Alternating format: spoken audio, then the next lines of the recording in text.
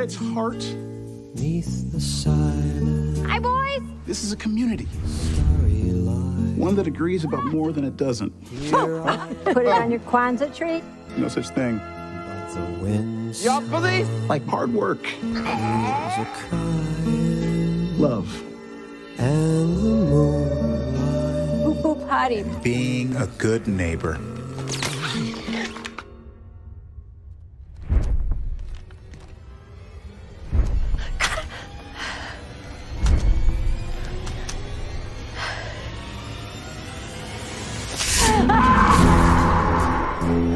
I know it's easy to get caught up in the fear of the situation. I know it's easy to point the finger and fear each other.